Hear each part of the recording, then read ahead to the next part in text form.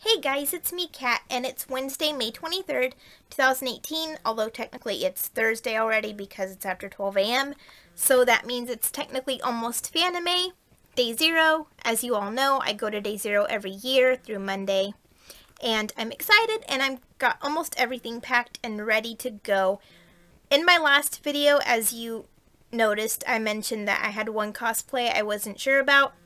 I did make that vlog a few weeks ago, but finally uploaded it yesterday because I've just partly been busy with stuff, but also it kind of slipped my mind and I forgot to upload it until yesterday, and I apologize for being so late on that, but I finally got it up, so go check that out.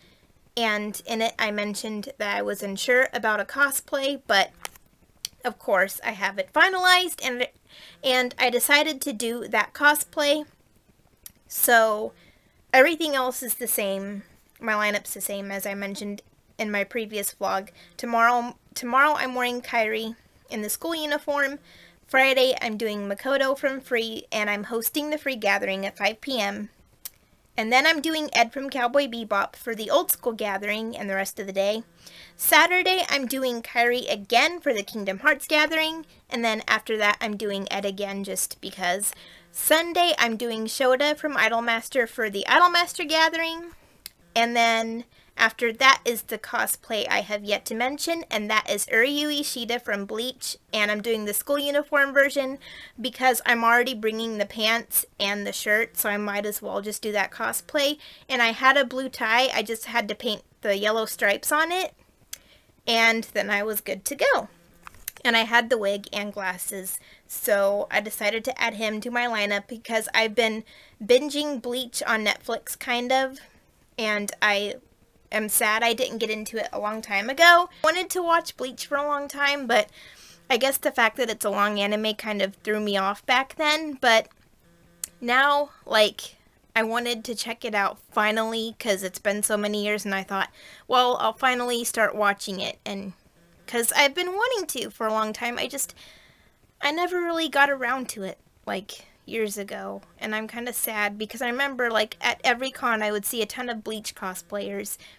And I loved seeing them and everything. And just, I don't know why I never really wanted to watch it back then. I guess because we didn't really have streaming or anything like that. So maybe that's why I never watched it back then.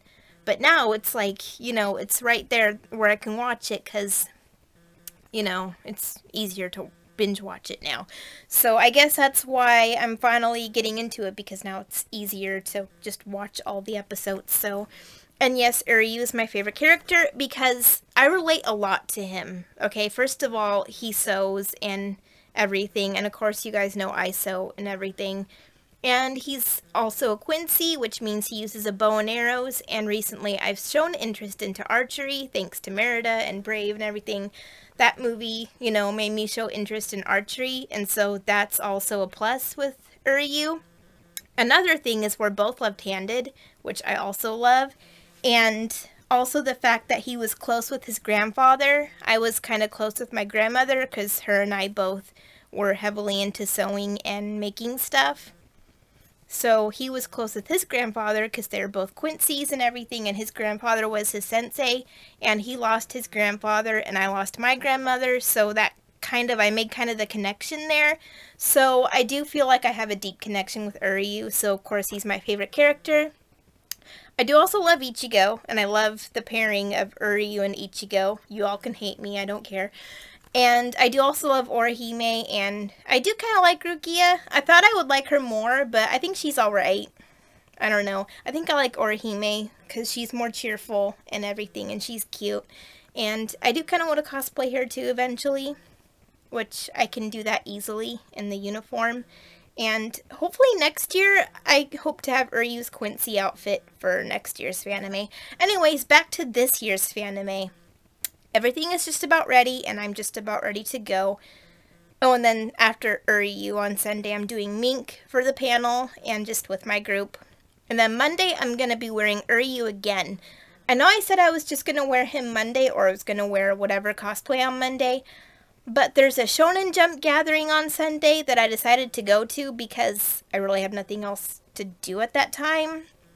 The Idolmaster Gathering on that day is around, I think it's at um, 1 o'clock.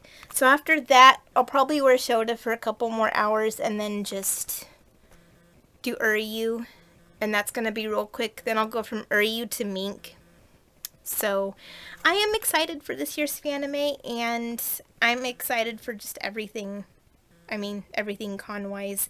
So yeah, and I hope to see you guys there. Those of you that are going, those of you who aren't, I will have pictures and videos in slideshow format for you guys after the con, just like the last couple years. So look forward to that again this year. And yeah, so my suitcase is over here. As you can see, it's all packed. Well, it's mostly all packed. And then I have a bag of stuff there.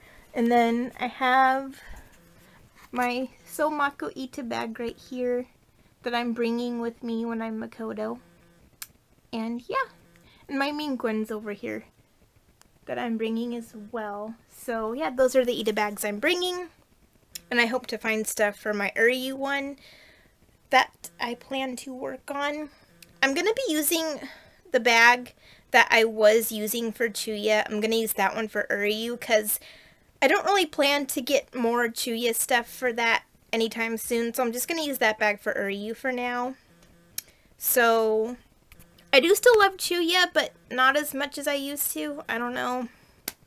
But I'm sorry to everyone who that disappoints, whatever. But I do still love him though, so don't worry.